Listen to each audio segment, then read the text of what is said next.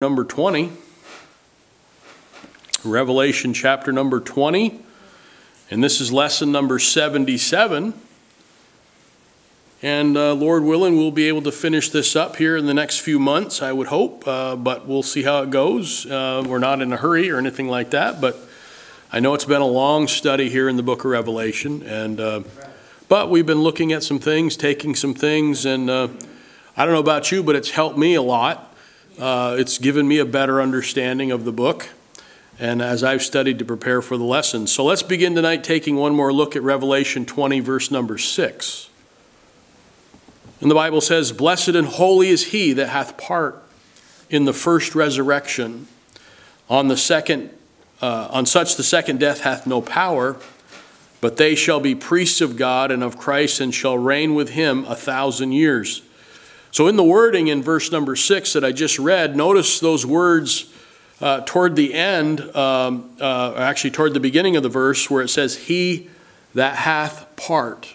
He that hath part. There's three groups mentioned here that have a part in the first resurrection. Of course, uh, the first group would be the church.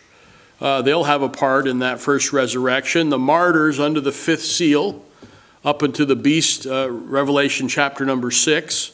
And then the third group will be the martyrs killed by the beast until the second coming.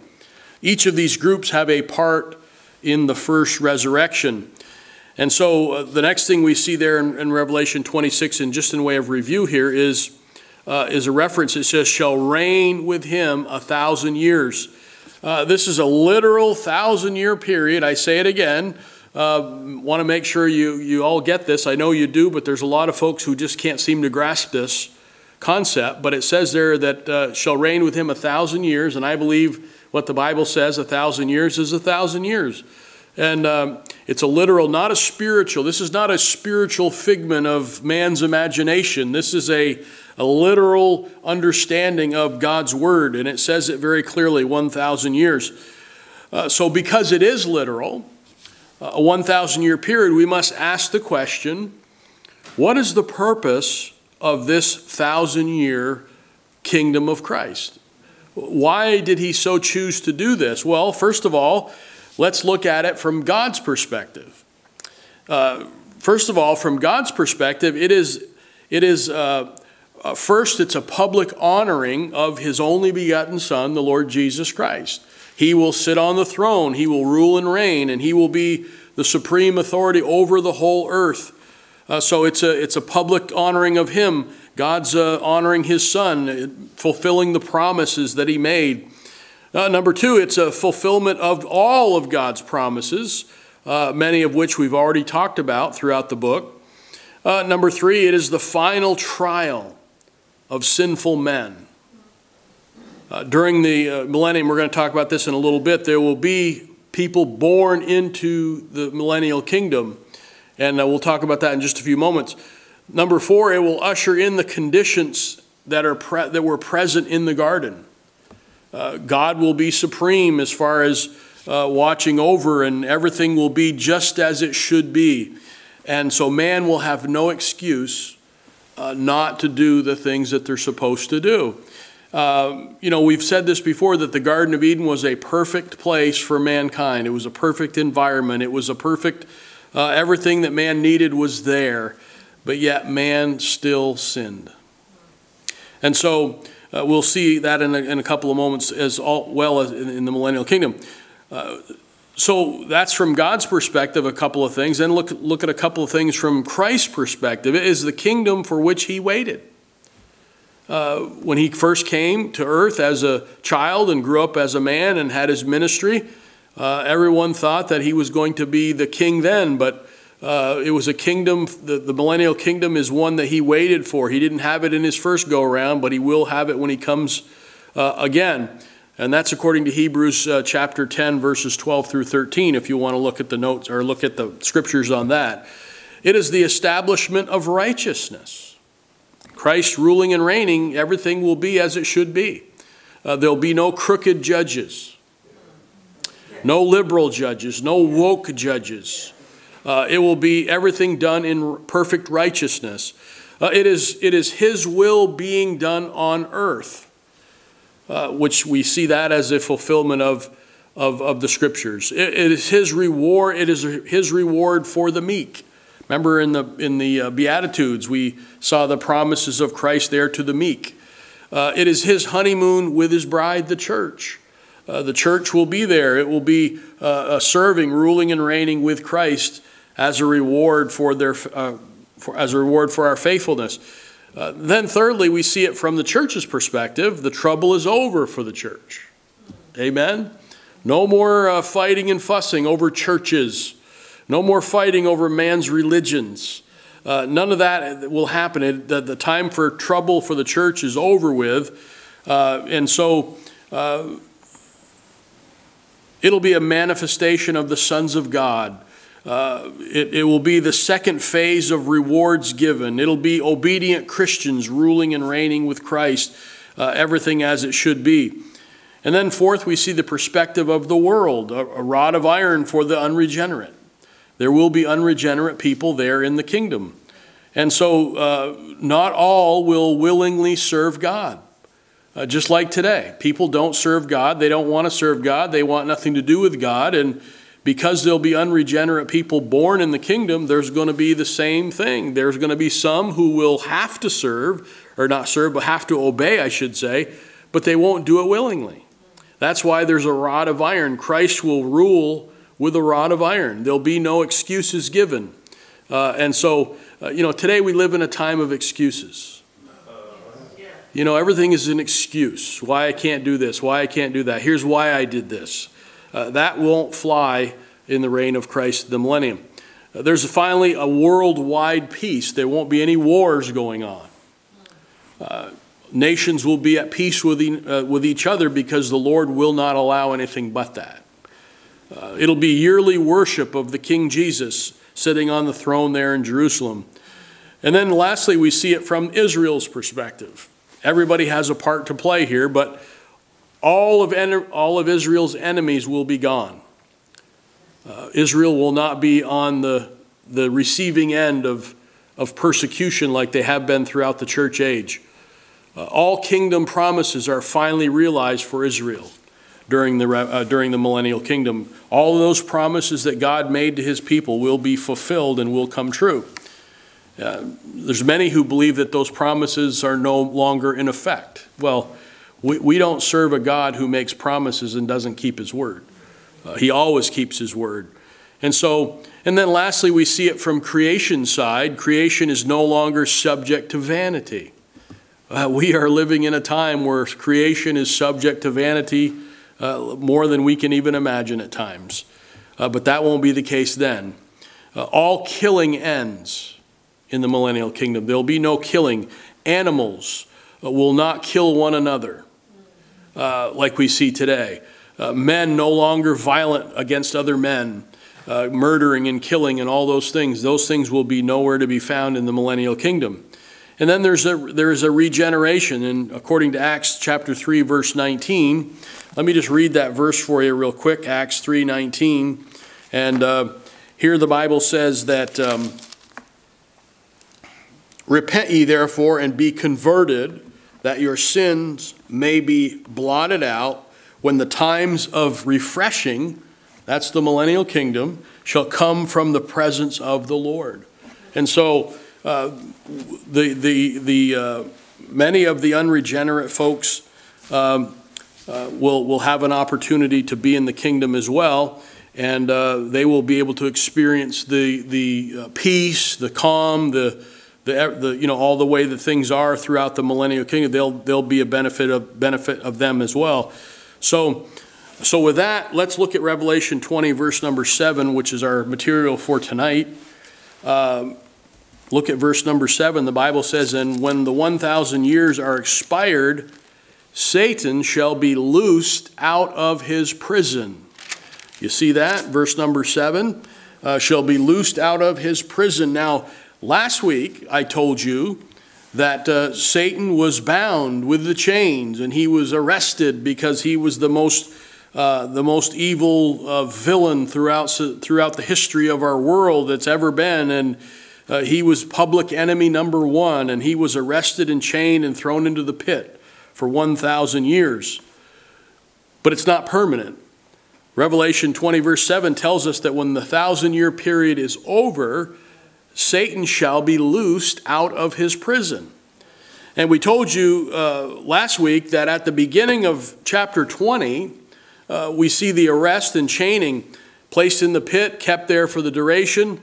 But according to this verse, Revelation 20, verse 7, there will come a time uh, that he is going to be let loose, and the Bible says, for a little season. It doesn't say that in verse uh, 7, but it does say it in verse number 1.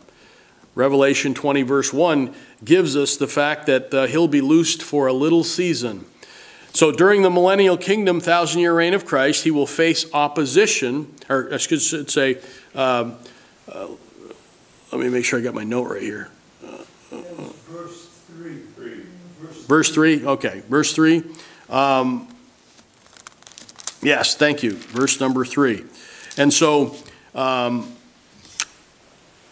many men will obey, like I said a few minutes ago, uh, they will obey Christ because Christ will rule and reign with a rod of iron, and he will rule in that day. He will be the, the, the, the decider of all things. Uh, there will be no man made courts like we have today, uh, no man made governments. Christ will be the all in all for during that period of time.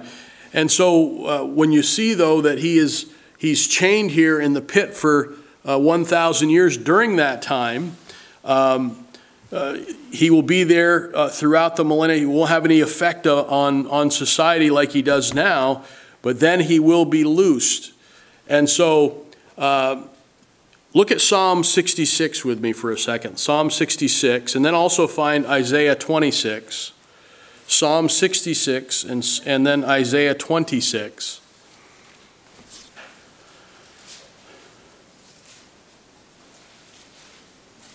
And we'll see uh, in Psalm 66, we'll see that uh, God will rule, or the Lord will rule uh, by his power. Uh, notice verse number 7. Psalm 66, verse number 7. Verse 7 says, He ruleth by his power forever. His eyes behold the nations. Let not the rebellious exalt themselves. So uh, that verse kind of tells us that even though he's ruling with a rod of iron, there's going to be still some that just don't want to do uh, what they're supposed to do. Uh, they'll do it because they'll have to do it, but they won't do it because they want to do it. And uh, you know, sometimes, even now in our church time, our church age that we're living, uh, I think there's a lot of Christians, uh, and I can put myself in that camp from time to time, when we read the Word of God and we see what God God's Word says to us about what we're supposed to do, there's times, let's face it, that we all get a little rebellious. We don't want to do certain things. Amen. And uh, so during the millennium, it'll be that way to some extent as well. The difference will be uh, it won't be optional. Right now, as a, as a child of God living in the church age, uh, we have the liberty to do what God says to do. We don't have to do it. It's best if we do it, but we don't have to. Uh, Christ doesn't beat us over the head every time we don't do something that we're supposed to do. And so, uh, but in the millennium, it'll be mandatory. It'll be mandatory obedience to the, to the King of Kings and the Lord of Lords.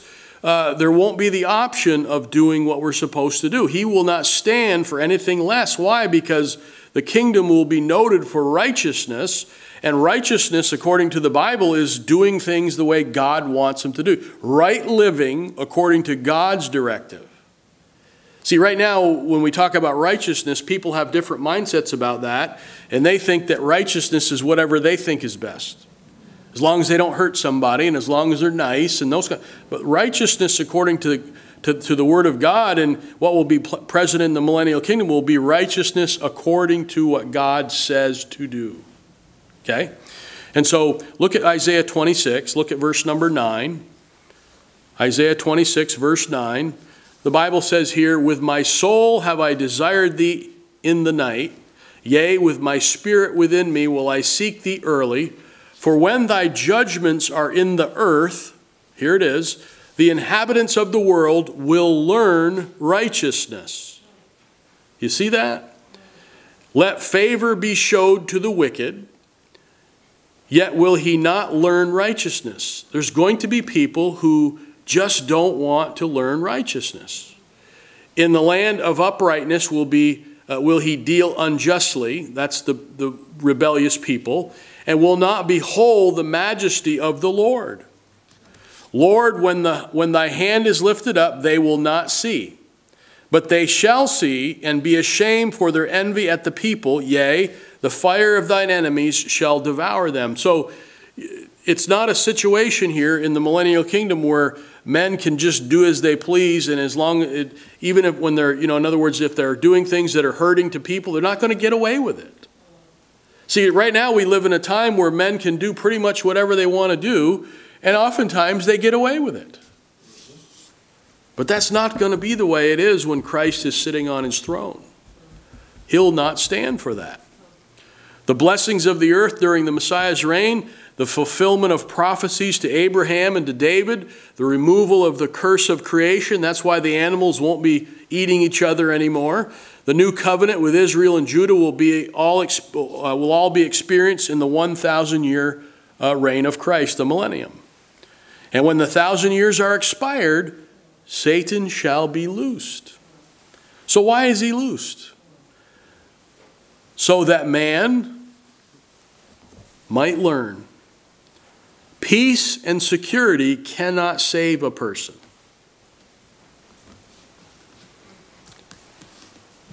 Adam and Eve were in the garden. They were in a perfect place. God provided all their needs. But they still disobeyed God. So, putting somebody in a perfect environment doesn't necessarily make them do what they're supposed to do. A righteous environment cannot save a person. Proper government cannot save a person. Uh, man is not naturally good. Man does not naturally seek God. You hear these people say, Well, I was seeking God. No, uh, God set the circumstances in your life where He found you. If you're hearing your child of God tonight, that's how it happened. It didn't happen because you went on a, a spiritual uh, awakening tour or something like that. Uh, sight does not guarantee faith. Hell does not change someone into being righteous. 2 Corinthians 5:17 tells us therefore if any man be in Christ he is a new creature. All things are passed away. Behold, all things are become new. If any man be in Christ, the Bible says he's a new creature, which means that if a man is not in Christ, he is never changed. If he's not in Christ, he's not been changed. Uh, whether he lives 10 centuries in the Messianic kingdom, the thousand year reign, or, or, or, or in the fires of torment, unless he's in Christ, he's not changed. There's no possibility of man reforming themselves apart from Christ. The only thing that changes a man is for them to be born again by the blood of Jesus Christ. We have all kinds of people out there in our society today. Matter of fact, I got an email this week from uh, some organization that promotes, uh, uh, you know, uh, young people, ministry for young people, uh, teenagers, uh, it's a it's called it's a school of some type, and uh, they they set up programs uh, for teenagers. And the, the thrust of the email to me was, do I have any teenagers that I'd want to send there?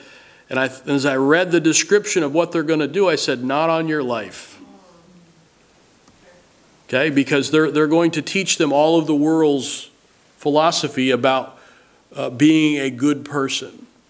But we just told you that man is not inherently good. Uh, man is born a sinner.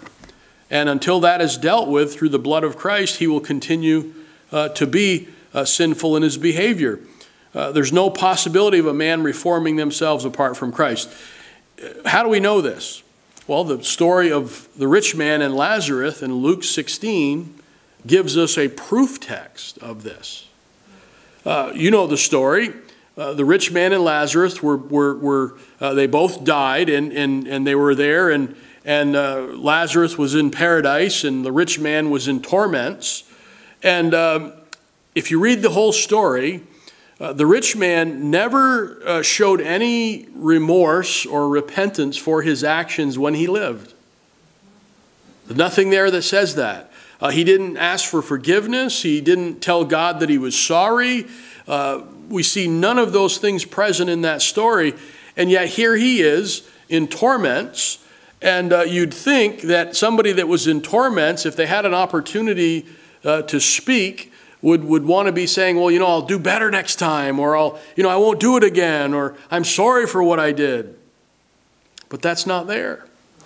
Uh, no request to be forgiven. When the pit is open, though, in Revelation chapter 9, another proof text, the creatures come forth out of the pit with only destruction on their minds. That was several lessons ago, but if you go back and refresh yourself, Revelation 9, you'll see that. What's the point? Uh, man cannot reform himself from his wicked state but Christ. Psalm 10 and verse 4 The wicked, through the pride of his countenance, will not seek after God. God is not in all his thoughts. What's that mean? The wicked man truly doesn't even think about God. He's not seeking him, and he won't even think about him most of the time. Uh, the, the God of the Bible is, is on no one's mind in society to any great extent. If it was, we'd see more people at the church house. But it's not. And so we don't see folks. Uh, in hell, uh, there's no more hearing of the Word of God to bring the faith that we need in order to be born again. That's why when you get to hell, there's no hope. No hope for a second chance. No hope for, uh, for another opportunity to be born again. Uh, when you're there, you're done. It's over. It's complete. Uh, you're going to be as you are in torments for all eternity. Psalm 49, verses 7 and 9 says, None of them can by any means redeem his brother, nor give to God a ransom for him. For the redemption of their soul is precious. We have a verse that tells us that precious in the sight of the Lord are the deaths of his saints. And so uh, the soul is precious to God, and, it's, and, and, and uh, the soul lives forever and ever. A man's soul never dies. Never dies. Lives either for eternity with Christ, if you're born again, or it lives in eternity in torments at the final end. Every soul of man is everlasting. When it leaves the body at death, it is still the same soul. Upon death, the soul moves from the temporal to the eternal. People say, well, you know, when Johnny hits rock bottom, he'll get things right. How many times have you heard that? He's got to hit rock bottom. But let me say this circumstances will change no person eternally. So if a person's life and the circumstances of their life has caused them to hit rock bottom, that's not going to change them eternally. And in truth, many cases, when a person hits rock bottom, many times they take their life. They say enough is enough and they, they think they're going to escape by killing themselves. Well, all that they've done is they've just sealed their fate to be an eternal torment.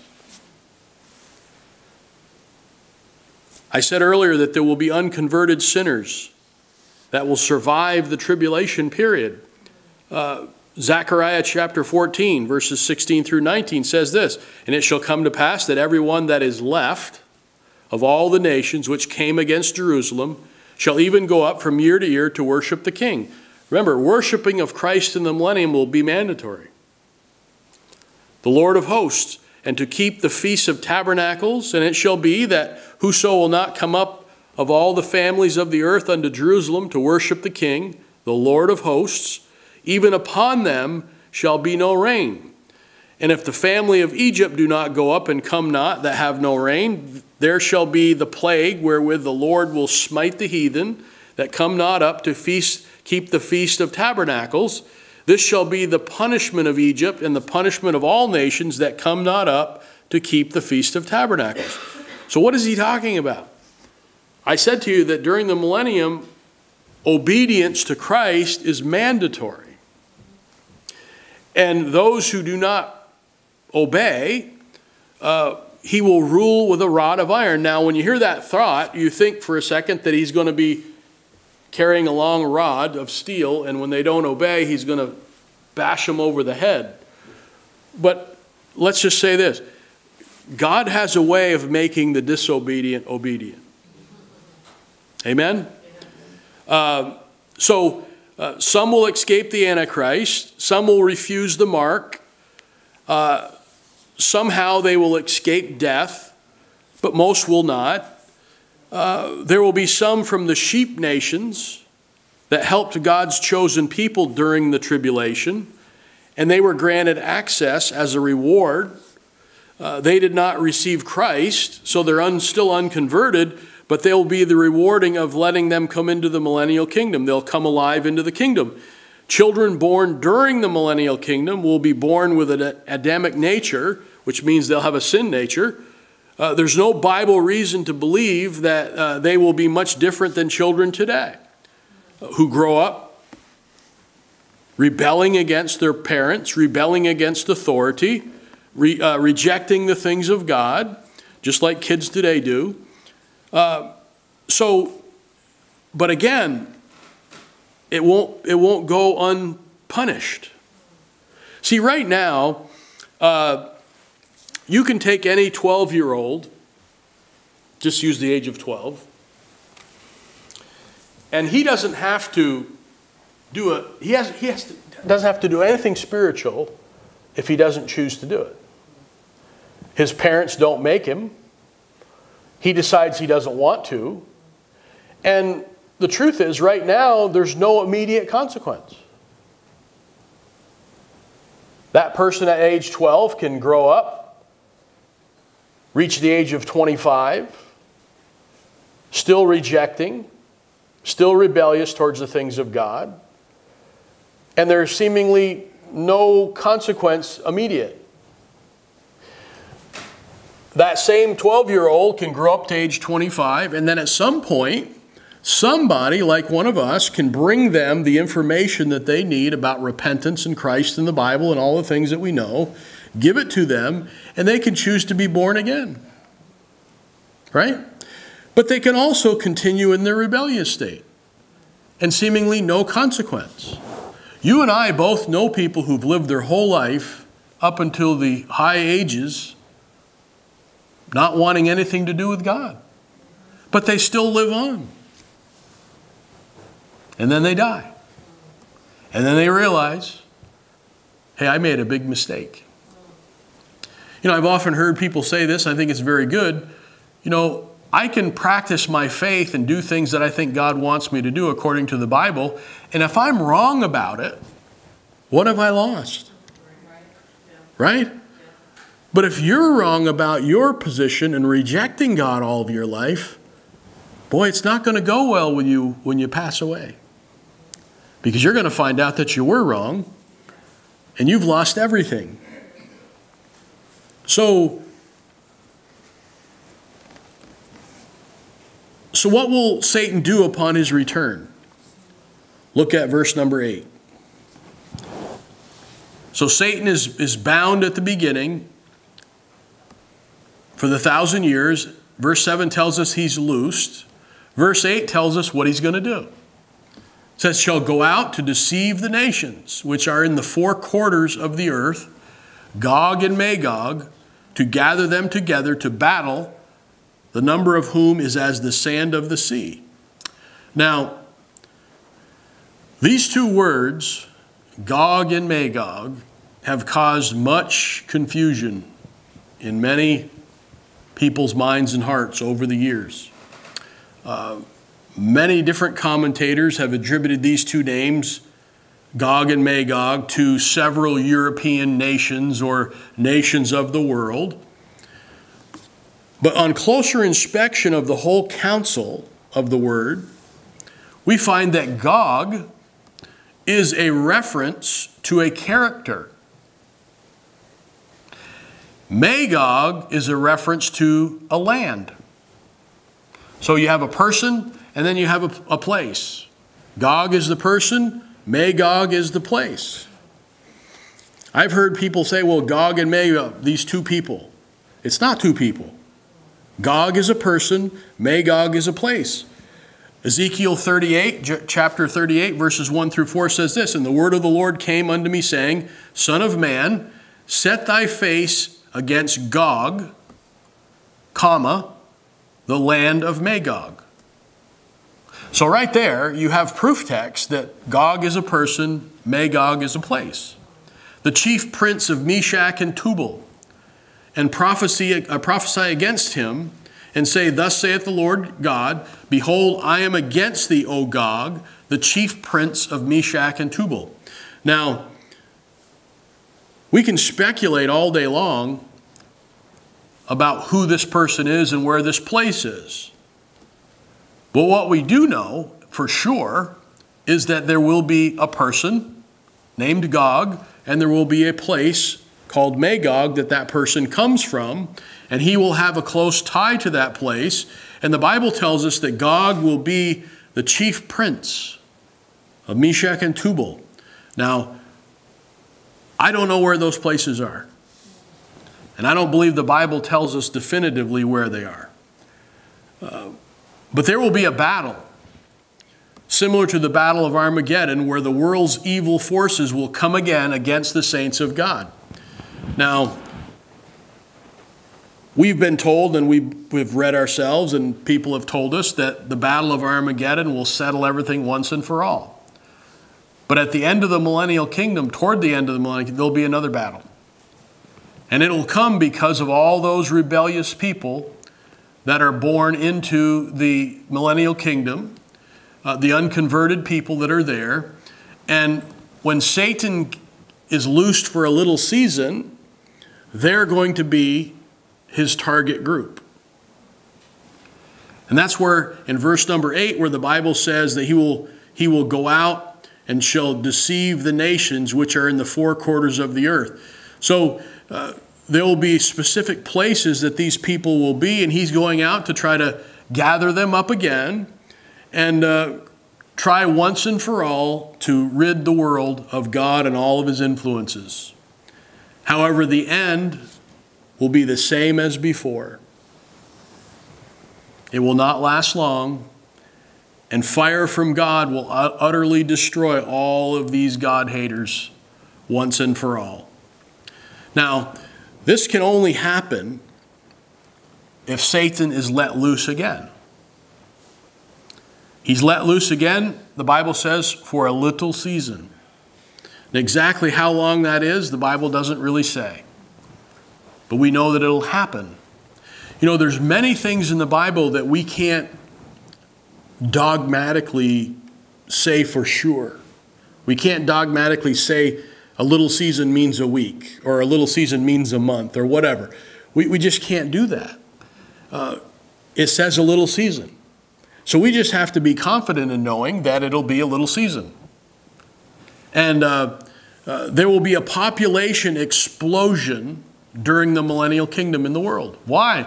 Because there'll be no disease, no murders, no death, no drug abuse, no car accidents, no, uh, you know, all of the things that take people's lives today. Uh, people born in the millennium will just keep on living. So it'll be like a population explosion that's never been before.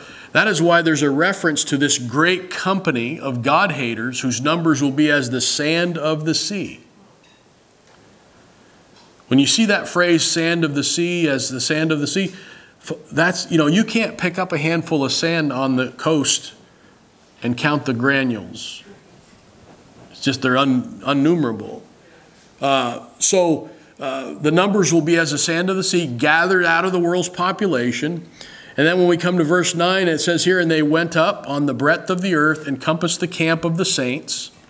about, and the beloved city, which is Jerusalem, and fire came down from heaven, or excuse me, came down from God out of heaven and devoured them.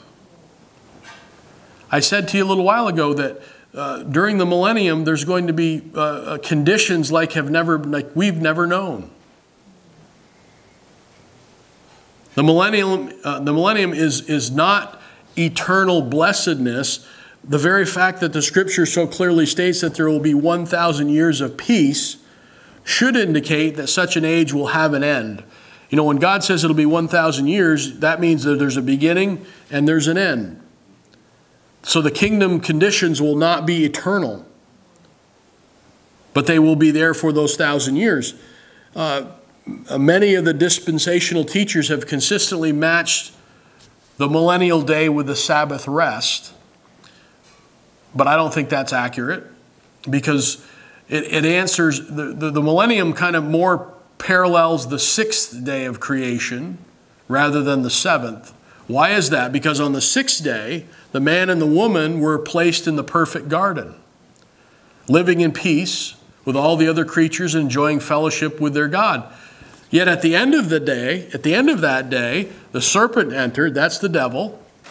He appealed to the uh, weaknesses of the humans, and he spoiled the wonderful setting in the garden by causing them and, and enticing them to sin. So look at this with the millennial view in mind.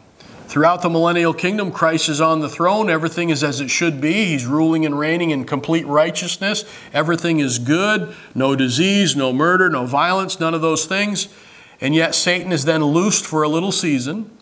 And he comes and he tries to uh, entice those that are there that are still rebellious in nature.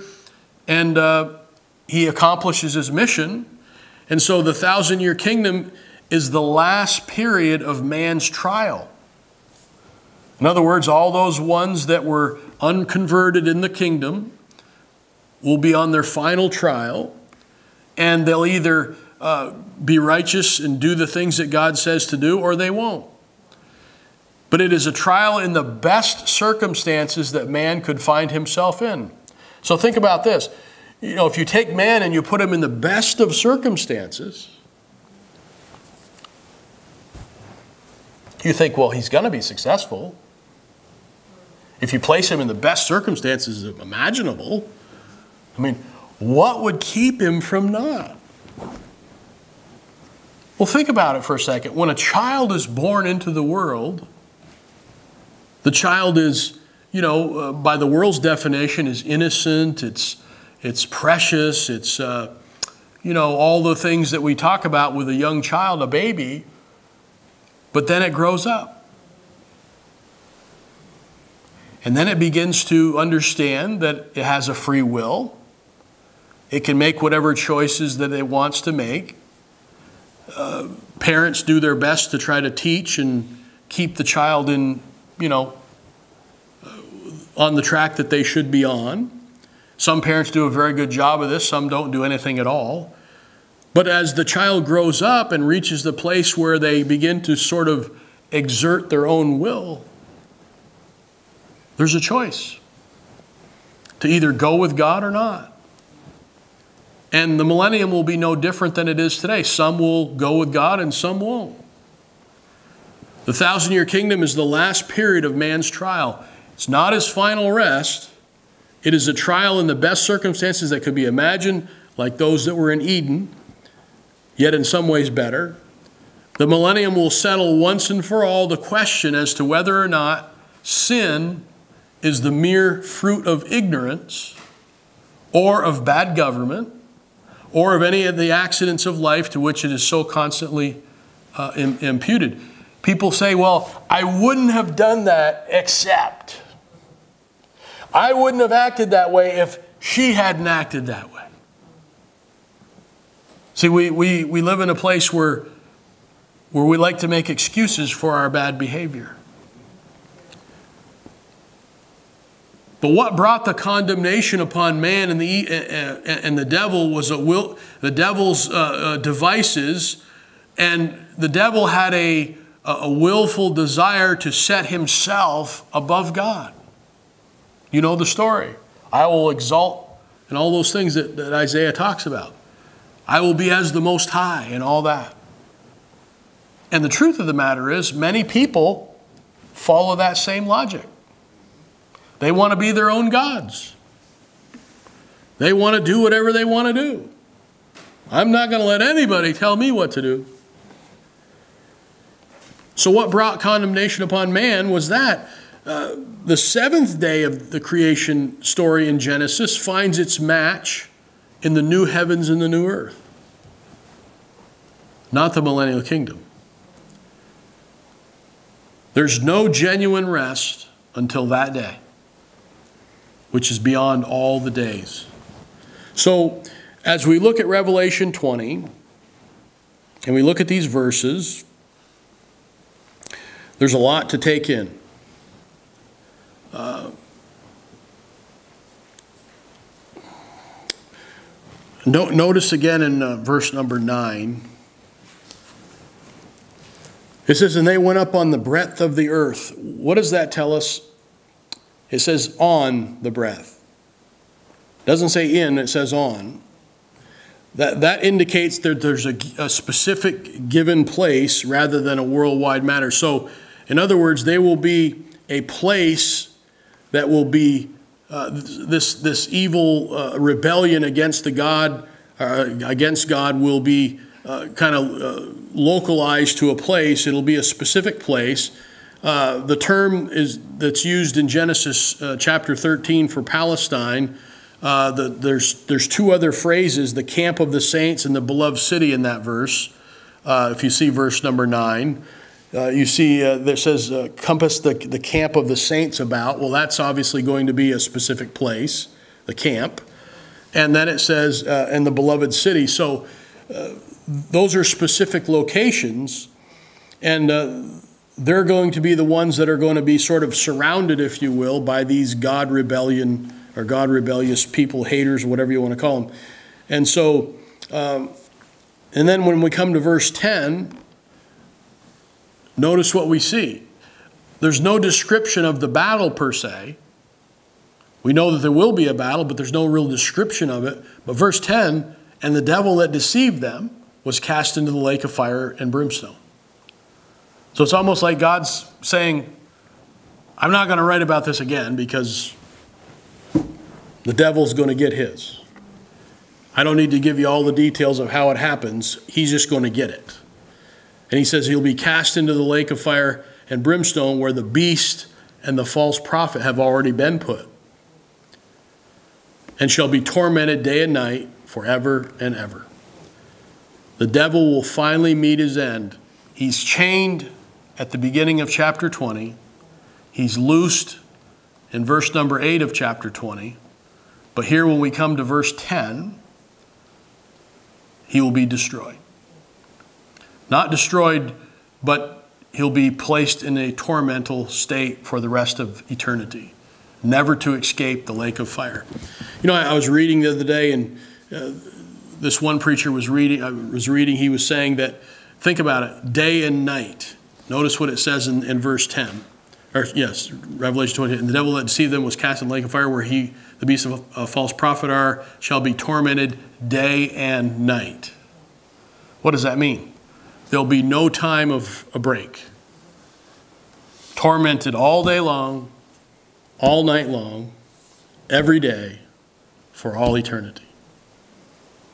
No breaks. And he will never die. The, his, the, the soul of all that go there will continue to live in torments. So the devil will take his place alongside of his two counterfeit partners the Antichrist and the false prophet. The devil's counterfeit trinity will be forever gone, once and for all. And so, when we look at chapter 20, at the end of verse number 10, verse 11 begins with, And I saw a great white throne and him that sat on it, from whose face the earth and the heavens, uh, heaven fled away, and there was found no place for them. We're going to stop right there for tonight. because that's a, a whole other subject. And so I would encourage you to continue to read and reread these verses and see the words. Don't leave out any words. Look at the words closely because they all have a meaning. And uh, we're doing our best to sort them all out, and we'll do some review next time as well and make sure that I got these points out to you the way I should have.